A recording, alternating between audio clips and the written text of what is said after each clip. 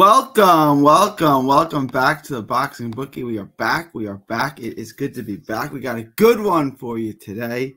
Uh, Rhiannon Dixon versus Terri Harper uh, on the DAZN card, the Matchroom card, the Eddie Hearn card. Pretty interesting fight. Uh, WBO lightweight title on the line, I believe. Interesting fight. Before we get to that, please like, share, and subscribe. for Follow 3D Boxing, 3D Boxing blog, all forms of social media. The Boxing Bookie comes at you for every single major fight, showing how to consistently make money betting on the sport of boxing.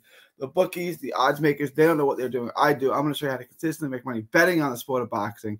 Join the Patreon. Link is in the description. The, the, the Patreon gets you access to the lock of the week. It gets you uh, access to Ask the Bookie Anything. It gets you access to the updated props. Like there's no props on this yet, but there's plenty of money to be made on the props. So we'll get you made, money made on the props as well. Additionally, we'll make money on the props. Also, um, you can uh, request a video. All the gambling advice is literally the best gambling advice in the boxing world. I've hit eight. Uh, I've hit nine of my last ten locks, nine of my last ten parlays. It's it's all on the Patreon. You can follow the videos. You can get you can get the you get all that information uh, for just five dollars a month. So join the Patreon. Also subscribe to the channel Texas Boxing Scene on YouTube. That's Texas Boxing Scene. All proceeds go to autism research and recovery. Let's get into today's show. All right, y'all. Rhiannon Dixon, strong as an ox, fundamentally, fundamentally sound, good timing, good pop in, in, in the left hand, southpaw. Straight left is nice. He's accurate with the counter punches. She's in essence a counter puncher. And both these fighters prefer to counter, which is going to make for not a great fight in the ring, I believe. Uh, she's a really good counter puncher. She's accurate and sharp with the counter shots. Circles the ring. She's not easy to. She's not easy to hit. She's not easy to time. You know, I said, great fighters don't get hit a lot. She does not get hit a lot.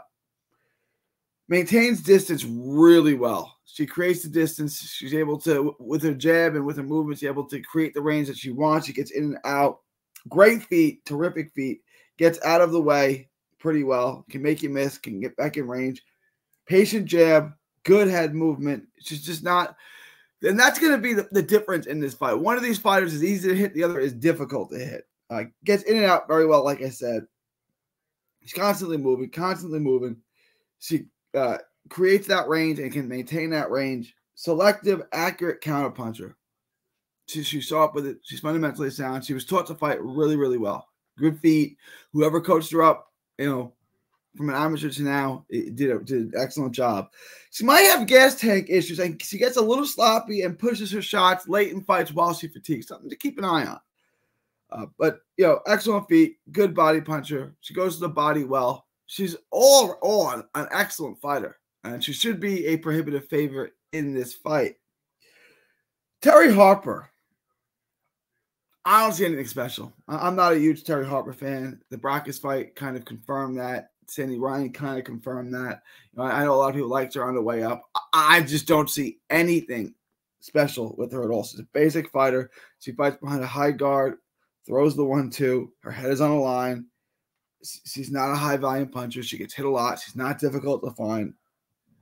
She lunges in. She's sloppy. Her footwork is a mess at times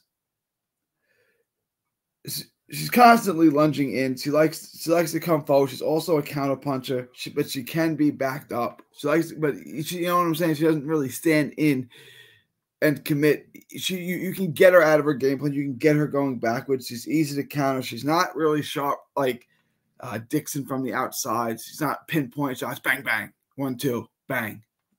Like you know, Dixon will nail you with a left hand. Get out of the way. She'll miss. You know, she'll throw a three piece combination and miss with all of it. She's got a wide base. She has a little bit of bounce to her step. She's a decent athlete. Not a whole lot to like about it. It's just not a whole lot there. I don't really, you know, she's not a puncher. She's not a volume puncher. She's not accurate. She's not a great athlete. I don't think she's a great fighter. I, I think Dixon is really another level, and I think that's ultimately going to be the difference. Uh, there's not a lot to bet on this fight. I do like the fight to go the distance, so when that prop comes out, let's take that prop. But just looking at the odds, I, I think this is a good uh, a good fight to to build your, your parlay around. Let's let's pull up why and we'll, discuss why.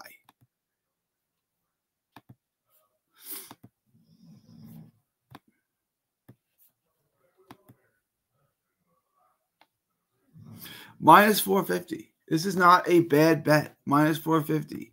Um, I would feel comfortable making a one and a half times bet. $150 bet would make you 33 33 think this is easy money. I also like the fight to go the distance. Um, they don't have a prop on that. I love Dixon by decision. I think that's a great bet to make. So I would, I would look at Dixon by decision, uh, Dixon on the money line, the fight to go over, the fight to go the distance, anything in that variety. But uh, as as a base of your parlay, take Dixon. Take Dixon, take Zayas by knockout, and you have a little parlay going. Right? You have a decent little parlay going there. Uh, Dixon and um, Shushu Carrington, and you, you could build the parlay. Shushu Carrington, San Zayas, and Dixon. There's, there's a nice little parlay. It gets you about minus 300, 275, something like that. It's a nice little three piece parlay. There's money to be made here. This is something nice to build around. It's not terrible odds. I think you're safe. I think Dixon wins. I think we go the distance. Let me know what you guys think. Leave your thoughts, comments below. Please like, share, and subscribe. Follow 3D Boxing, 3D Boxing Blog. But that's it. Just Dixon, Moneyline, and come over to the Patreon. Join the Patreon, follow us, we'll show you what, what props to bet. You'll make a ton of money on the props. This, this is a fight here. This is a nice fight to bet. It is because it, it, it you can build your parlay around it.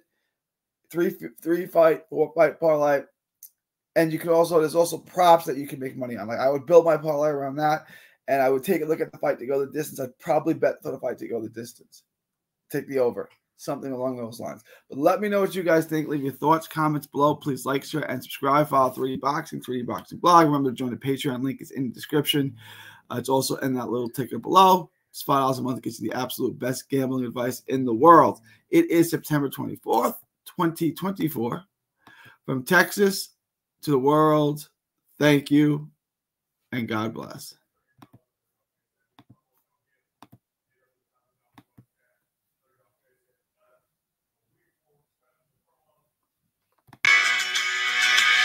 Don't miss a tweet, post, story, or video. 3D Boxing is on Twitter, Instagram, and Facebook.